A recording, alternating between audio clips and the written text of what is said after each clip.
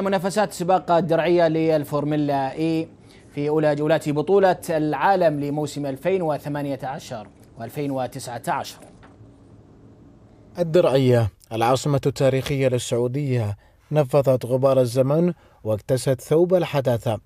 مهرجان كرنفالي على مدى ثلاثة أيام والحدث الرئيسي كان فورمولا إي الكهربائية.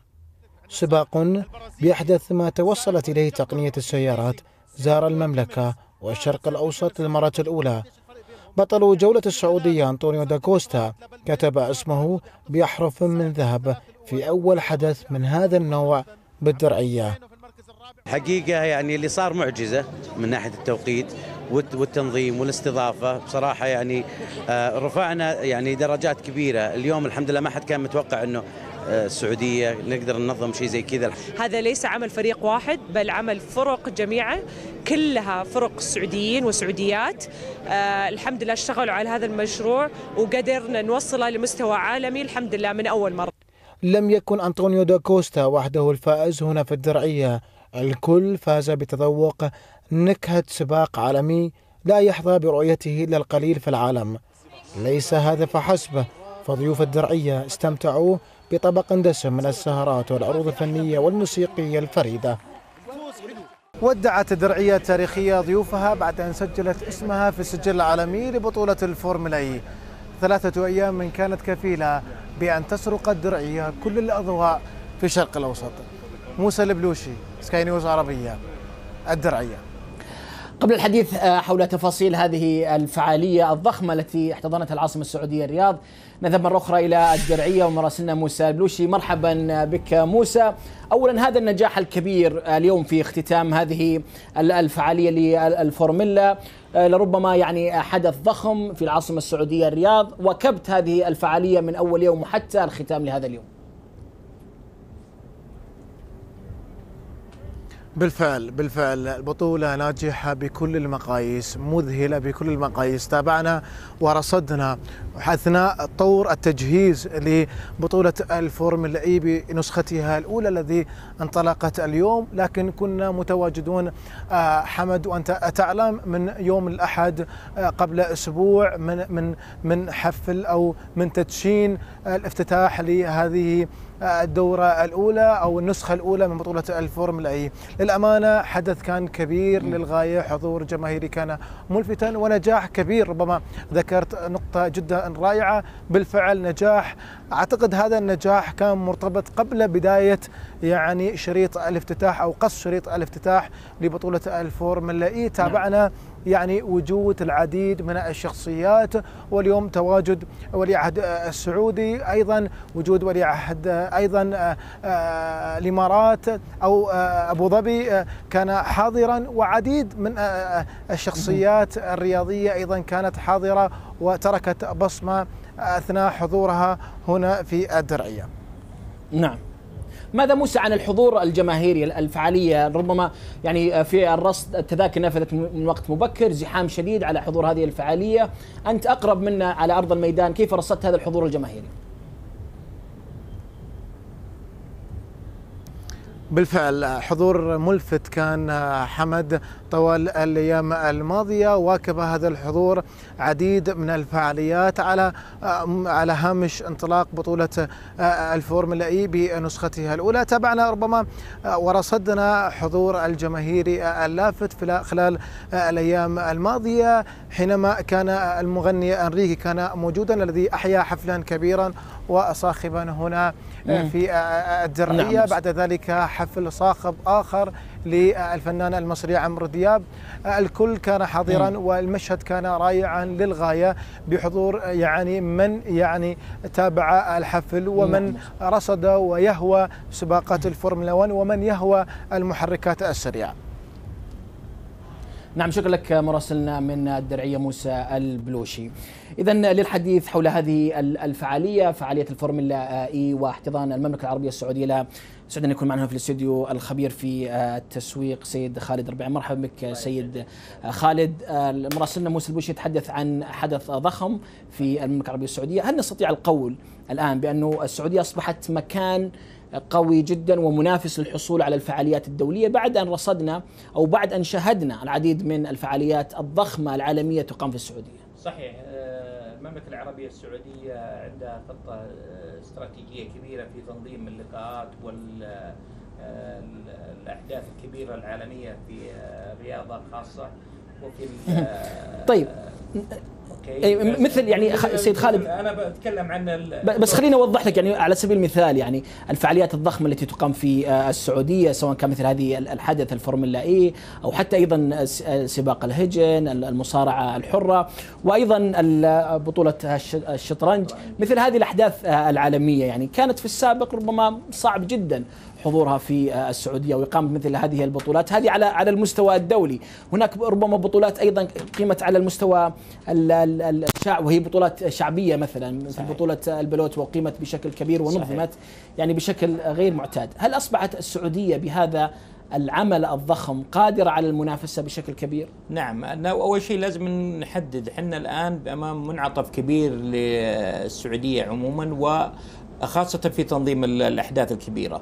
طبعا الأحداث الأخيرة في جهود كبيرة من صاحب السمو الملكي الأمير آه، محمد بن سلمان بن عبد العزيز ووراء رجال آه، حقيقيين وأيضا لا ننسى الكادر الكبير من الرجال مثل تركي آل الشيخ والأمير عبد العزيز بن تركي الفيصل وأيضا الجانب النسائي في الأميرة آه، ريما بنت بندر بن سلطان وأيضا الأميرة هيفا هذولا بالهيئة الرياضة آه، سخروا كل الجهود لرفعة الرياضة السعودية وتنظيم الأحداث الكبيرة. ولا زلنا إحنا في آه، مزيد من الأحداث الجاية في القادمة إن شاء الله في بطولة السوبر الإيطالي بين يوفي والميلان طيب خليني خليني أسألك في في يعني في جانب آخر غير غير الرياضة. أيه. ما العائد للسعودية من خلال هذه الفعاليات؟ شوف آه، هي لو ننظرها من بحجم أكبر هي تواصل كبير بين آه، تواصل ثقافي تواصل تراثي تواصل اقتصادي تواصل آه، كامل للرياضة بين معها الرياضة السعودية. أيضا تواصل فني. لو تلاحظ الفورميلا الأخير اللي جاء اللي اختتم اليوم فيه فعاليات كبيرة. فعاليات تسويقية فعاليات فنية فعاليات فنية أيضا آه، جذب ناس محترفين وجذب ناس مشاهير حول العالم لحضور هذا منهم إيان روني وأيضا اهتمام القيادة السعودية من وزير الخارجية السعودي وزير الخارجية الإماراتي كلهم حاضرين معطينها آه، اهتمام كامل فيها آه، اهتمام كامل وزخم كبير زخم كبير على على هذا الموضوع. أيضا لو تلاحظ لو مواقع التواصل الاجتماعي السوشيال ميديا تشوف المشاهير حول العالم. في دعوتهم دعوتهم السعودية لحضور هذا الحدث وكيف طريقتهم في تسويق السعودية عموما؟ أنا ما تقول التسويق الرياضي تسويق السعودية. وهذا يعطيك إيحاء كامل إن إحنا ننظر لها نظرة كبيرة. ما ننظر لها نظرة رياضية فقط ننظر لها نظرة اقتصادية نظرة سياحية نظرة آه، سياحية نظرة النظرات كلها هذه ننظر لها. حتى النظره الثقافية والنظرة الصحية كل هذه الأشياء. لو تشوف حتى الرعاة اليوم بال بالفورمولا اليوم رعاه من الحجم الكبير جدا بالعالم وهذا يدل إن نجحنا في استقطاب آه، إيش إيش اللي تغير؟ يعني هل أول كنا غير مؤهلين؟ لا شوف هي مسألة الجراءة. الجراءة آه، آه، صاحب السمو الملكي الأمير محمد بن سلمان اعطانا الثقه الكبيره جدا. عطى الشباب السعودي الثقه الكبيره للانطلاق والتنظيم وتفعيل الأحداث. أيضا في طرق أيضا في خلق الأحداث الجديدة مثل ما شفنا الأحداث اللي سبق الداخلية عندنا وأيضا الخارجية الملاكمة أيضا الرياضات الإلكترونية الهجن آه، وال WWE والمصارعة كلها وأخيرا الفورمولا كل كل هذه الأشياء حدث كبير. يعني يخلينا نمشي بمسار واضح آه، نحو المستقبل وتنظيم أحداث كبيرة جاية إن شاء الله بالطريق. طبعا إحنا بناخذ يعني جزء من الكعكة في بعض الدول المجاورة آه، سبقتنا في هذا المجال وجعلتنا آه، أنا تكلمت عليها بمقال من المقالات كنا يعني في نورين في الخليج اللي أبو ظبي ورياض وجدة أيضا النور الثالث.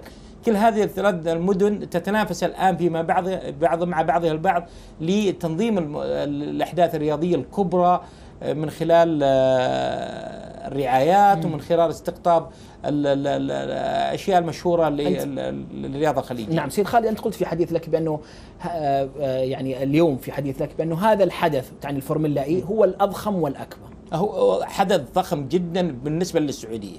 وهذه هي الفاتحه خير لنا زي ما تقول أنت ما تقصد إنه كحدث رياضي أضخم وأكبر؟ لا ما في. في أحداث جاية أكبر منها إن شاء الله. وإن شاء الله حنشوفها لأن الأسماء اللي ذكرتهم ما يعني ما يتعبوا ما شاء الله لا إله إلا الله. يعني آه، الطموح عندهم عالي.